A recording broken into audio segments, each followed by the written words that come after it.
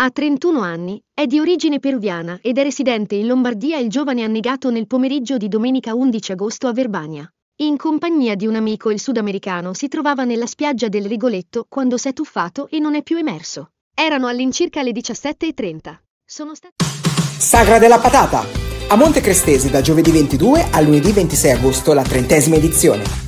Tutte le sere dalle 18.30 apertura del ristorante con servizio ai tavoli, spettacoli, danze e spazio giovani. Ti aspettiamo!